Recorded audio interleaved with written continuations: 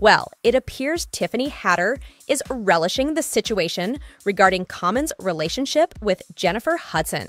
Oh, he never gave me no damn earrings. He probably gave those to Jenny. Allegedly, Jennifer ended things with Common in a messy and embarrassing manner, leading to Tiffany mocking him openly.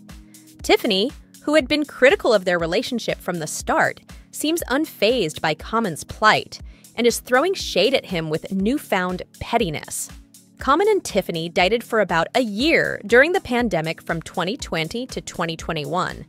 Initially, Common portrayed the breakup as mutual due to their busy schedules, but Tiffany claimed she was blindsided, emphasizing the strength and joy of their relationship. She suggested Common had commitment issues, implying he might never settle down. When Common began dating Jennifer Hudson, it seemed promising, with reports indicating he was more serious about her than previous relationships. Once Tiffany and I got back on the move, it, it really didn't allow for us to spend as much time and put as much energy into our relationship. I don't think the love really dispersed. I just think it was just like we weren't feeding the relationship.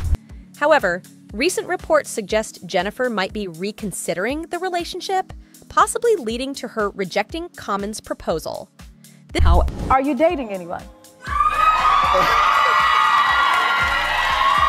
so, yes, and I'm in a relationship that is one of the most beautiful people I ever met in life.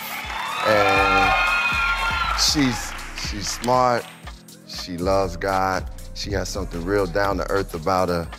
Um, she's talented, but but I set I set my standard kind of high because she had to have an EGOT. She she she she she had to win an Oscar on her first movie. I set my standard high. She had to get her own talk show. Oh, okay. Yeah, so. this rejection seemingly stems from Jennifer's past experiences, notably a tumultuous relationship with David Otunga. Jennifer and David's relationship, which started as a fairy tale, soured over time allegations of domestic violence and infidelity surfaced, resulting in a messy public split. Jennifer accused David of abusive behavior, while he denied the allegations, claiming concerns about responsible parenting.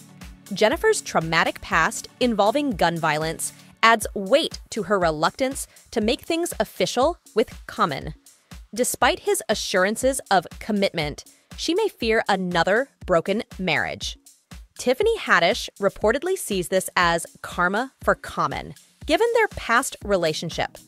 Fans appear supportive of Jennifer's decision to be cautious, noting Common's history as a heartbreaker.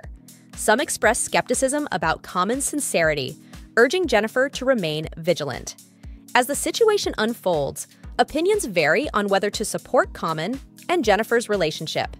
In summary, the saga involving Common, Jennifer Hudson, and Tiffany Haddish continues to captivate attention, with each twist revealing more about love, betrayal, and the complexities of relationships.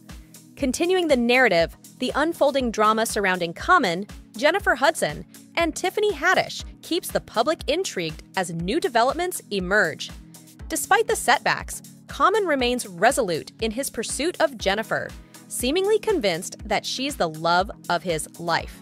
However, Jennifer's reluctance to fully commit reflects her cautious approach, shaped by past heartaches and traumas. The scars left by her tumultuous relationship with David Otunga serve as a constant reminder of the potential risks of love. Meanwhile, Tiffany Haddish watches from the sidelines, reveling in what she perceives as Common's comeuppance.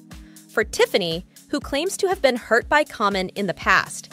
Witnessing his romantic misfortunes brings a sense of vindication. Her unabashed mockery and shade throwing add a layer of intrigue to an already tumultuous situation. As the public follows the ups and downs of this celebrity love triangle, speculation runs rampant about the future of Common and Jennifer's relationship. Will Common persist in his efforts to win Jennifer back? Or will Jennifer's apprehensions ultimately drive them apart? And how will Tiffany's role in the narrative continue to unfold?